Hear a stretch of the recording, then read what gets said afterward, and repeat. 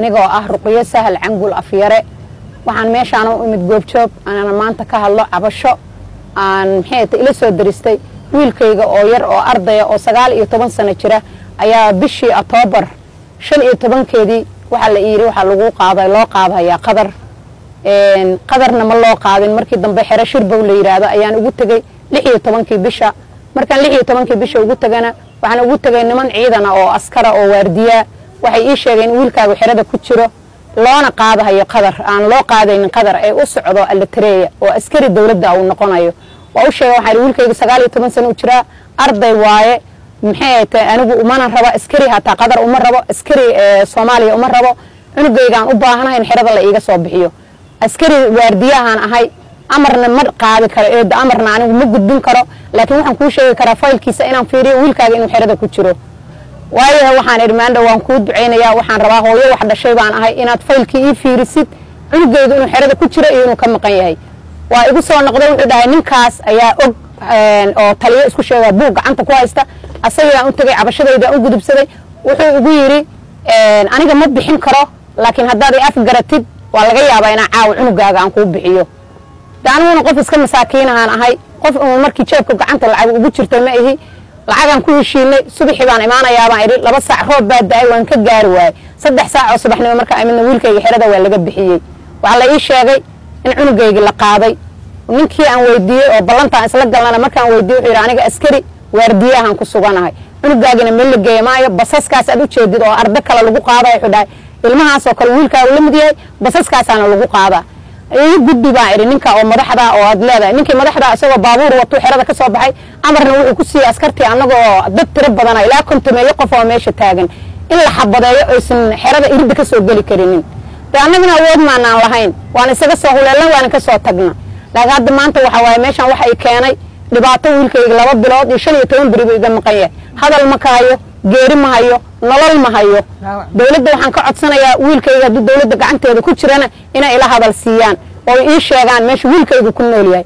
Hadduuse dowladda gacanteeda ku jirana ee shaksi u gacan galana mar labaad ayaan dowladda sharafta le waxaan ka codsanayaa in maxay ta ninka qofkaa shaksiga ah anigu meeshaan magac ma ka sheegi karo.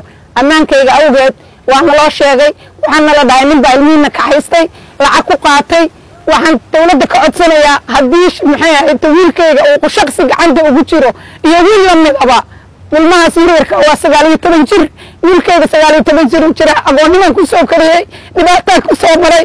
Dowladda waxaan ka codsanayaa cunugayga meeshu ku nool haddii shaksiga ku jiran gacantiisa inay shaksiga gacantiisa iga soo bixiyaan oo ila hadal haddiise shaksiga gacantiisa ku jiran ee dowladdeena uu gacanta ugu jirana inay yidhaahdaan wiilkaaga waa kula hadal waddankaasuna ku noolyahay dalku ku noolyahay dabaduu ku noolyahay intaasaan maanta ka codsanayaa labiyo tobankii shalay waxaan taagnaa. Maxay taxalama hortiisa? Waan geli waayey. Waa laygeyn waayey. Qofkaan la hadla amar uma qabo uu dhahay kumana gelin karo kaamana hadli karo. Ninkii oo magaca dowladda sheegto oon garanayana markaan la hadlana wuxuu leeyahy walaala arrintaas kama jawaabi kara aniga. Maanta halkaa waxaa i keenay dhibaatada i haysata cunugaygan geeriya nolol oo anigu rafaad ku soo kariyey oo rasaastaada geydaan ku soo dhex kariyey shaadaan ku soo kariyey oon ku soo kariyey intaa ku soo abaylama korin abeerayama korin waxaan codsanaya oo islaamka dhan ka codsanaya qofkii maanta codkayga maqlaya in wiilkayga meesha la geeyo geeriya nolol uu ii sheego. Waxaa la yidhi qadar markaan hadda maxay ta noogu dambaysa maalinba maalin ilaa maalinba uu kula soo hadli doona ayaan shalay webseedyada waxaan ka arkay in ilmo alatareeyo lagu laayey oo geeriya dhaawac laga keenay iyadana waxaan ka codsanayaa hadduu jiro geeriya nolol diyaar baan oo hadduu dhintana wiilkayga la yidhaha wuu dhintay oo layga samar siiyo. Hadduu nool yahan wiilkayga noloshiisa meeshu ku noolyahay in layla hadal siiyo. Intaasaan codsanaya waxa weeye horta waxa weeye anigu cunugayga cunug yar buu ahaa ilmo yar arday oo ahaa ilmo kale ayaa waxay ugu sheekeeyeen. Qadar baa dhalinyaro loo qaaday. Labada kun iyo toban iyo sideediina waa tii ardan noocaas oo kalea la qaaday oo hataa kuwaan ehel u ahay baa ku jiray. Saaxiibadiisaa ku wada jira oo la soo hadlay oo meeshaasaa lagu qaadayaaba la yidhi. Markii la yidhina dad kale oo ilmo kale u raacay oo gruub oo yidhi niman odayaala oo oday dhaqameedyaa oo qoraayo dadka oo lacag ka qaadanahayay ayuu yidhi odayaashaasuu raaca cunugayga aniga raallina kama ahayn askari qadarna raalli ugama ahayn askari soomaaliya raalli ugama ahayn. Wigii qalin buu haystay inuu ayaataxaayaata ii gaaro oo biri aniga aan wax ka shirsadaan rabay. Laakiin maanta dhibaatadaasaa ugu dhacday. Amay qadar waxba kama maqlin. Waxaa la yidhi alatareya website baan ka arkay. Websiteki markaan ka aragnana oon dadkii weydiinana waxaa la yidhi xalama ilmo la keenay. Saasaa xalana igu geysay dhaawac iyo dhimashabaa xalana yaalla. Ama ha yaalla ama oo lan cid kula hadlaysaaba ma jirto. Iridda markaa ka istaagtay askari baa taagan. Amar uma qabo kuma gudbin karo. Maxaa samaynaysaa marka shalay qoraxdaa salbiyo tobanka shalay waan taagnaa xala maqribkii baan ka imid.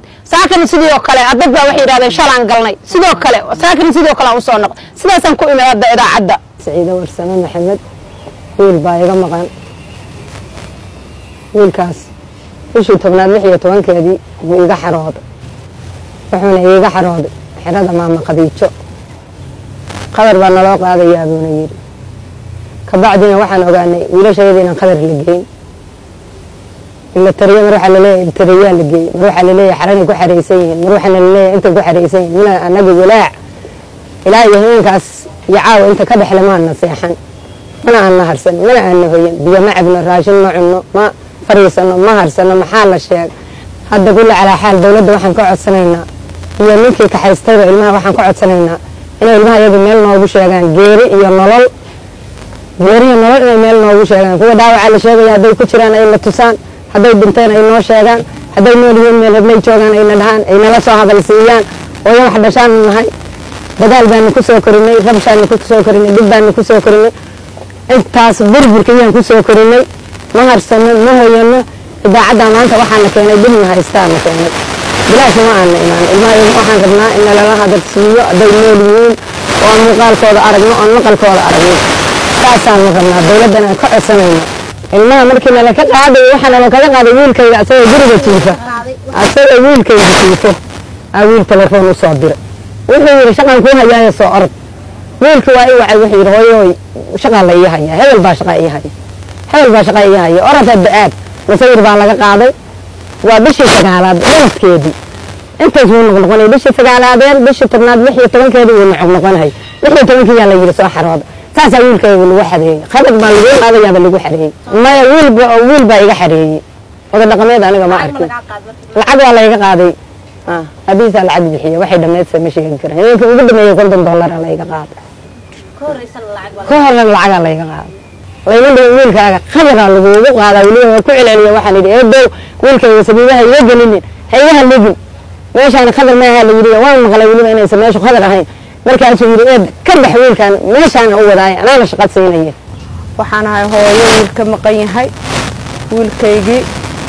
waxaa sheegay in uu la geeyey meesha la yidhaahdo elatariyo wiilka yarka ah cunug baa iga soo kaxaystay iskuulkan ku ogaa cunugii haddii uu iskuulka uu ka soo kaxiyey cunugaasi meel halkaas oo xerada ah xerada magaceedan shir baa la dhahaa ba aqaane aniga waxa waaye ilmahan qariib baan ahay. Qaxootiyadaa keeyaan ka imi cunugaa yarka ah cunug dariskayga iga soo kaxaystay. Ilaa iyo saacaddaasna meel lagu sheego ma garanayo. Electariyaana loo kaxeeyaa la yidhi marka waxaan dowladda ka codsanayaa in cunugayga yarka ah meeshii ay lagu ogyahay in laysoo sheego. Muxuu ahaa hooyo dhibban baan ahay. Saacaddaa meel aan ku sheego ma garanayo dhimasho iyo nolol. Dadkii kenya ka soo qaxay baan nahay marka cunugaa yarkaabaa iga maqan cunugaa waxaan dowladda ka codsanayaa carruur badan oo soomaaliya oo da wada maqan baa jirta laakiin cunuga caruurteeda waxaan rabnaa in naloo soo sheego meel allaale meeshay jiraanin dowladdaan ka codsanaynaa. Waxaan ka cabanaynaa runtii ilmo yaroo muddo dheer naga maqnaa oo walaalahaya oo soomaali iskugu jira ayuu nooc meel walba degan yihiin gobol iyo caasimad iyo tuulo inta ka dhexle oo halkaas maaragtay laiskugu keenay oo dowladda soomaaliya tababar baan u qaadanaa tababar baan u qaadanaa nin walba nin walba ninkuu saaxiibka leeyahay ilmaha ilmo saaxiib leeyihiin leeyahay. Keena tababar baa laydin qoraya xataa ilmihii aan waalidiintooda loo soo marinin waxaa jirta dhibaato fara badan oo waalidku ay la aamusnaayeen sida hadda dad badan iga horreeya ay sheegeen oo aysan waalidka ka cabanin dhibaatada jirta aysan cidna u bandhigin awood aysan lahayn awood u hadlaysa aysan lahayn. Dabcan hooyo ilmaheeda ay ka maqan yihiin subax barqaa inta magaciisa la qoray register laga dhigay layska qaatay oo maaragtay layska fogeystay. Dadna contactigii lagala xiriiraya laga reeba yacni taleefanadii laga reebo la taleefanada iska reeba oo yani meel lagala xiriira la garanaynin. Runtii dhibaatada waa garan karta aniga waxaa iga maqan in la hadlayo walaalkay la dhashay oo toban sideed sano jira ayaa la qaatay. Sababta loo qaatay ilaa hadda ma cadayn karno ma sheegi karno waxa weeyaan ee, horta waa caqabada koowaad waxay tahay cunugaaga haba la qaato amar la'aan ha la qaato waalidkaan lala ogeysin hooyaan loo sheegin aabayaan loo sheegin ilmo ilmuhu saaxiib kala ahabuu waday. Meeshaas uu geeyey maaragtay mataqaanaa hadduu geeyana waa si u geeyey cunugiisa wax barqaadi hooya shaqa la helo shaqa waxa waa maxay? Hooya shaqa qadara la helo ilmo waxaa jirta la qaaday oo qadar loo qaaday. Oo horey lacago lagu soo diray lagu soo dirana jirta maarata qadar tirkeeda dadka waa hoosaasisay. In soomaalidu hoosaasiskan aysan ka fiirsan oo ku fududaan iyaga dhan ay ku fududaadeen. Waa waxa anaga dhan meeshana dhigay waa dhibaatada meesha anagana dhigta weeyaan. Marka koowaad horta ka codsanaya dowladda soomaaliya horta arrin ay og tahay ayaa ay ilmihiisa ogaanin. Arrintan inay dowladda ka cagajido oo carruurtooda maqan yihiin haddii anaga dhalinyartii soo wada baxday kulliga inta la qaaday xabsi lagu wax dhintay iyo wax jajabay iyo wax la qariyo laga dhigo yaa u soo haraa dalkan yaa dowlad u tihiin yaa madax loo yaha weeyaan yaa yaa maarata yaa maamul loo yaha waa dhibka jirta waxay tahay haysata hooyada hameen maalmo seexato cunug baa meel gudada dil dhaho waxay leedahay cunuga dil waa asagii cunuga la dilo waa asagii ee wada habeen maalin gaari baan saarnaa magaalada meelaan habeen istaagi ma lahan. Habeen maalin meel baan taaganahay. Marka dhibtan ugu daran waxay tahay in dad waalidka inta laga qaaday waalidka ilmihi laga qaaday la garanay meel la geeyey hoo cunugeeda maqan yahay war jir baa la raadiyaa.